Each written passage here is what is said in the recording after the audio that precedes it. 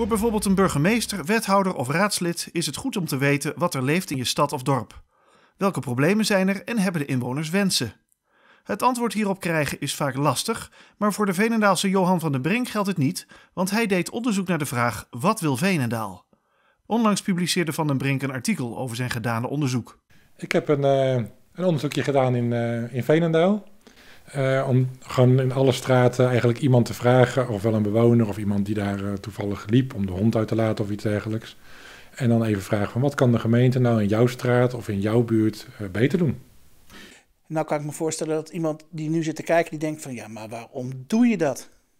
Nou ja, eerst eigenlijk een beetje vanuit mezelf. Dus een persoonlijke reden dat ik dacht van nou, ik zit maar een beetje te, te videocallen met mijn collega's. En uh, ik zie eigenlijk niemand meer, geen volwassenen. Ik uh, beweeg weinig. Dus ik dacht nou, ik ga in elk geval iets verzinnen waarbij ik en naar buiten moet. En andere volwassenen spreek. Nou, dat is wel echt gelukt. Want ik denk dat ik wel, nou 500 mensen heb ik sowieso al gesproken, denk ik. En ook uit interesse voor Veenendaal. Ik, ik voel me best wel betrokken bij, bij Veenendaal. Ik ben ook echt geboren en getogen. Dus ik dacht echt van, nou, ik wil ook iets betekenen voor Veenendaal. En, en met, met dit onderzoekje hoop ik dat er ook echt wat, wat mee wordt gedaan. Wat wilde je met het onderzoek bereiken? Nou, uiteindelijk hoop ik dat er uh, in, in de, ja, met name in de gemeenteraad, dat het wordt opgepakt. Dat dus nu, uh, ja, nu we vlak voor de verkiezingen staan, eigenlijk in maart 2022, dat het ook in verkiezingsprogramma's terechtkomt.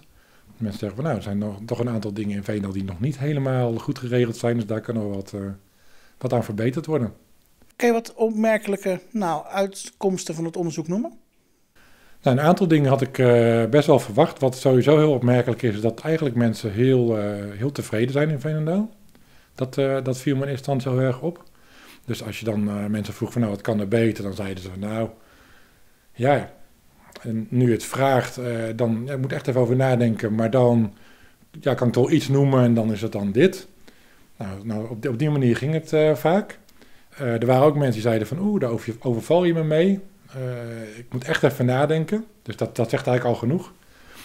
Aan de andere kant ja, zie je er ook wel grote verschillen in Veenendaal. Je ziet echt wijken waar bijvoorbeeld, dan merk je gewoon als je in die wijk al loopt, dat er ligt veel afval op straat. een beetje, het oogt wat minder fris, wat, wat, wat, ja, wat donkerder ook soms, wat kleinere straatjes. Ehm, ja, dan merk je toch wel dat je in, in wijken zit waar, ehm, ja, waar bijvoorbeeld wat wat meer sociale huur is, wat, uh, wat minder nieuwbouw, uh, wat meer flats. Ja, dat voelt toch iets anders aan dan, dan wijken zoals een Veendal Oost bijvoorbeeld, waar alles nieuw is en mooi. Kan je een, een, aantal concrete dingen noemen die, nou, die mensen zeiden tegen je?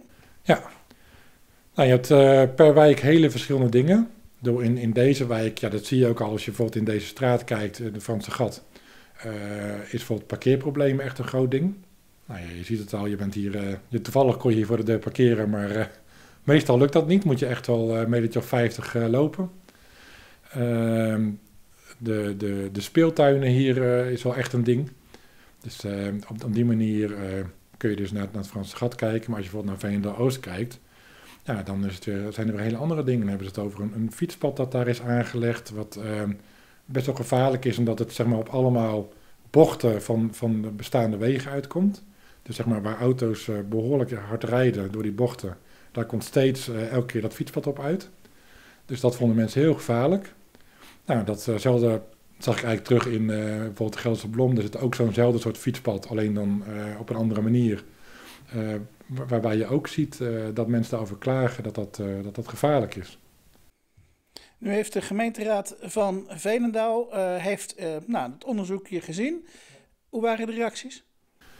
Ja, best wel uh, opvallend. Eigenlijk had ik eigenlijk niet verwacht dat, uh, dat er zoveel uh, animo voor zou zijn. Dus van allerlei kanten kreeg ik reacties van, nou, ik wil eigenlijk wel meer weten. Wanneer kunnen we een keer erover verder praten? Nou, sowieso op social media al heel veel positieve reacties. Ook veel, veel reacties van, nou, we gaan er echt iets mee doen. Dus dat stemt in elk geval hoopvol. Was het leuk om te doen? Ja, was echt leuk om te doen, ja. ja. Ook omdat je allerlei verhalen hoort. Ik merkte ook wel dat bijvoorbeeld oudere mensen waren, die, waarvan je gewoon merkt, nou, die hebben gewoon heel lang eigenlijk niemand gesproken. Nou, die bleven maar doorpraten, hele verhalen over Veenendaal, vroeger, waar ze ook hadden gewoond.